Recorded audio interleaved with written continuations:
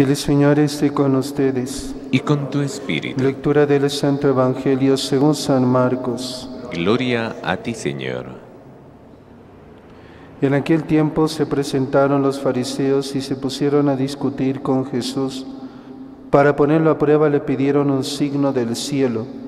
Jesús dio un profundo suspiro y dijo, ¿por qué esta generación reclama un signo?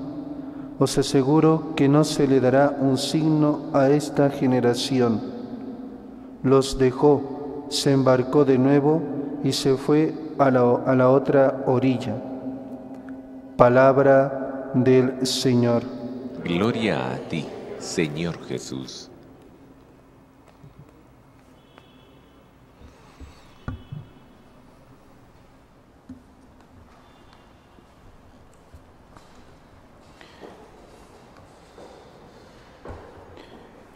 Amados hermanos en nuestro Señor Jesucristo y María Santísima, hemos escuchado en la primera lectura del libro del Génesis este mm, pasaje del- de Caín y Abel, mm, primer, una de las consecuencias del pecado. Caín es el prototipo del hombre perverso y homicida.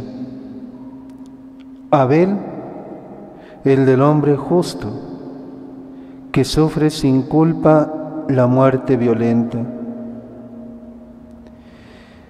De ahí que a Abel se le haya considerado figura de Jesucristo, cuya sangre derramada en la cruz interpela a los hombres con más fuerza aún que la de Abel.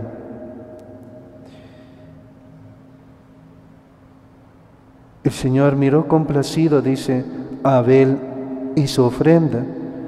Abel ofrecía lo mejor a Dios, pero no a Caín y la suya.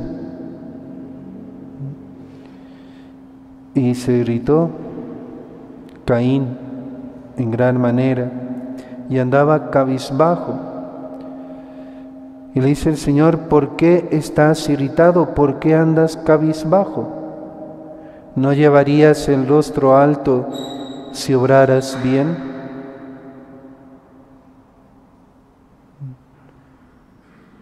Obrar bien, para no eh, llevar la cabeza alta, diríamos, ¿no? O sea, no andar cabizbajo, ¿no? Procurar siempre obrar bien.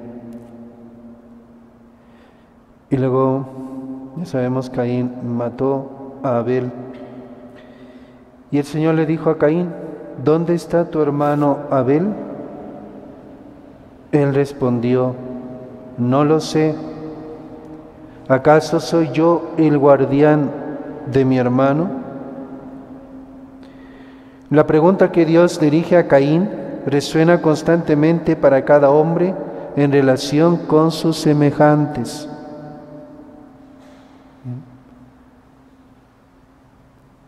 Dice el Catecismo de la Iglesia Católica, la vida humana es sagrada, enseña la Iglesia, porque desde su inicio es fruto de la acción creadora de Dios. Solo Dios es Señor de la vida desde su comienzo hasta su término. Nadie, en ninguna circunstancia, puede atribuirse el derecho de matar de modo directo a un ser humano inocente. Y de alguna manera todos somos responsables unos de otros, ¿eh? porque todos vivimos en sociedad unidos, ¿no? Por eso no podemos desentendernos. ¿Acaso soy yo el guardián de mi hermano? Y luego esto que dice Caín también, grande es mi culpa para soportarla.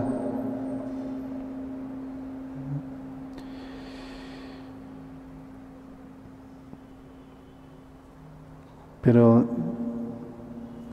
Dios es infinitamente misericordioso y no hay ninguna culpa por grande que sea, si nos arrepentimos, que no la pueda Él perdonar.